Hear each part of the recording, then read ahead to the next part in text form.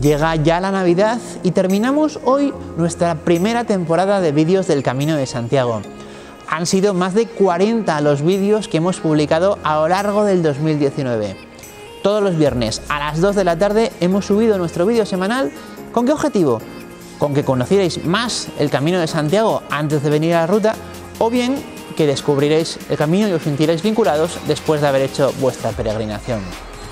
Hemos conocido siempre en vídeos breves ciudades como Pamplona, Burgos, León, Logroño. Hemos visto monumentos como los de Unate, el Santo Sepulcro de Torres del Río, San Martín de Fromista, lugares curiosos como la Cruz de Ferro, el Techo del Camino de Santiago, o historias como la de la presencia de la Orden de Malta en la ruta o el Museo del Chocolate en Astorga. También hemos publicado vídeos de noticias, como las pintadas en la Catedral de Santiago o la cimentación del camino en Foncebadón. Hemos hecho reseñas, como la del nuevo libro La peregrina de Isabel San Sebastián. Hemos cubierto la presencia del Camino de Santiago en congresos y ferias, en Fitur, en Fairway o en la Feria de Muestras de Asturias.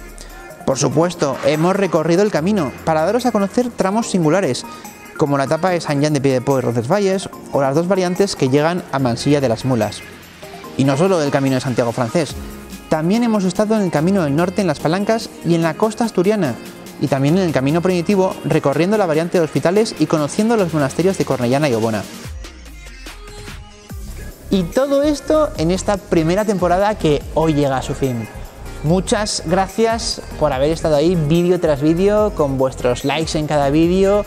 Y ya sabéis que cualquier sugerencia es muy bienvenida en los comentarios de este canal de YouTube para que vayamos mejorando y creciendo el próximo año.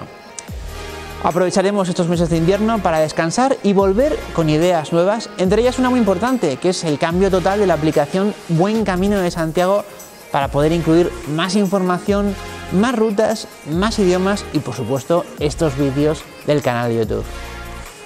Os deseo una feliz y santa Navidad y un próspero año nuevo 2020, víspera del año jacobeo 2021. Buen camino.